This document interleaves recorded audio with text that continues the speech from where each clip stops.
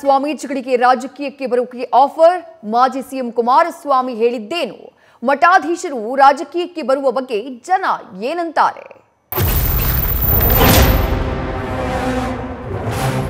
ರಾಜ್ಯ ರಾಜಕಾರಣಕ್ಕೆ ಸ್ವಾಮೀಜಿಗಳಿಗೆ BJP offer ವಿಚಾರಕ್ಕೆ ಸಂಬಂಧಪಟ್ಟ ಹಾಗೆ ಎಚ್ ಡಿ ಕುಮಾರಸ್ವಾಮಿಯವರು ರಿಯಾಕ್ಟ್ ಮಾಡಿದ್ದಾರೆ. ಬಿಜೆಪಿ ಅದನ್ನ ದುರುಪಯೋಗ ಪಡಿಸಿಕೊಳ್ಳಬಾರದು ಅನ್ನುವಂತಹ ಹೇಳಿಕೆಯನ್ನ ಶೃಂಗೇರಿಯಲ್ಲಿ ಎಚ್ಡಿಕೆ ನೀಡಿದ್ದಾರೆ. ಸ್ವಾಮೀಜಿಗಳಿಗೆ ಬಿಜೆಪಿ ಆಫರ್ ಬಗ್ಗೆ ನ್ಯೂಸ್ ಫಸ್ಟ್ ಎಕ್ಸ್ಕ್ಲೂಸಿವ್ ವರದಿಯನ್ನ ಬೆತ್ತರಿಸಿತ್ತು.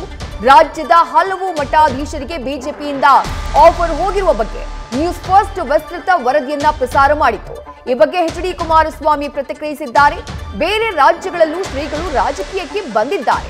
ಶ್ರೀಗಳ ರಾಜಕೀಯ ಪ್ರವೇಶ ದುರುಪಯೋಗ ಆಗಬಾರದು. ಬಿಜೆಪಿ ಅದನ್ನ ದುರುಪಯೋಗ ಪಡಿಸಿಕೊಳ್ಬಾರದು ಅಂತ ಹೇಳಿ ಶೃಂಗೇರಿಯಲ್ಲಿ ಮಾಜಿ ಸಿಎಂ ಎಚ್ ಡಿ ಕುಮಾರಸ್ವಾಮಿ ಹೇಳಿಕೆಯನ್ನ ಕೊಟ್ಟಿದ್ದಾರೆ. ಫ್ರೀಡಮ್ ಆಪ್ ಅಲ್ಲಿ ಕಲ್ತು ಕ್ಯಾಂಡಲ್ ತಯಾರಿ ಮಾಡ್ತಿದ್ದೀರಾ?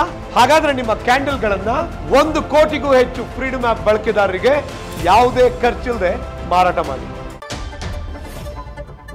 ದೇಶದಲ್ಲಿ ಬ್ರದರ್ ಸಂವಿಧಾನದ ವ್ಯವಸ್ಥೆನಲ್ಲಿ ಯಾರು ಬೇಕಾದರೂ ಬರಬಹುದು ಇತ್ತೀ ಇತ್ತೀಚೆಗೆ ಹಲವಾರು ರಾಜ್ಯಗಳಲ್ಲಿ ಇವತ್ತು ಸ್ವಾಮೀಜಿಗಳು ಚುನಾವಣೆಗೆ ಧಾರ್ಮಿಕ ಕ್ಷೇತ್ರದಲ್ಲಿ ಸೇವೆ ಮಾಡಿದಂಥವರು ಚುನಾವಣೆಯಲ್ಲಿ ನಿಲ್ತಿರ್ತಕ್ಕಂಥದ್ದು ಹಲವಾರು ಪ್ರದೇಶದಲ್ಲಿ ನಡೆದಿದೆ.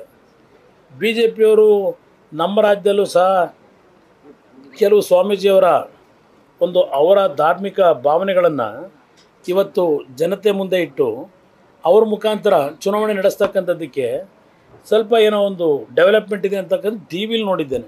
ನನಗೇನು ಗೊತ್ತಿಲ್ಲ. ಆದರೆ ಆ ಒಂದು ಕ್ಷೇತ್ರಗಳ ಬಗ್ಗೆ ಜನತೆಯಲ್ಲಿ ಇಟ್ಟಿರ್ತಕ್ಕಂಥ ಒಂದು ದೈವಭಕ್ತಿ, ಗುರುಭಕ್ತಿ ಏನಿದೆ? ನಿಮ್ಮ ಸ್ವಾರ್ಥಕ್ಕೋಸ್ಕರವಾಗಿ ಬಿ ಜೆ ಪಿ ನಾಯಕರಿಗೆ ಹೇಳೋದು. ನಿಮ್ಮ ಸ್ವಾರ್ಥಕ್ಕೆ ಆ ಕ್ಷೇತ್ರಗಳ ಬಗ್ಗೆ ಜನಗಳಲ್ಲಿ ತಪ್ಪಭಿಪ್ರಾಯ ಬರಲಿಕ್ಕೆ ಅವಕಾಶ ಕೊಡಬೇಡಿ. ನ್ಯೂಸ್ ಫಸ್ಟ್ ಪ್ರತಿಕ್ಷಣ ನಿಮ್ಮೊಂದಿಗೆ.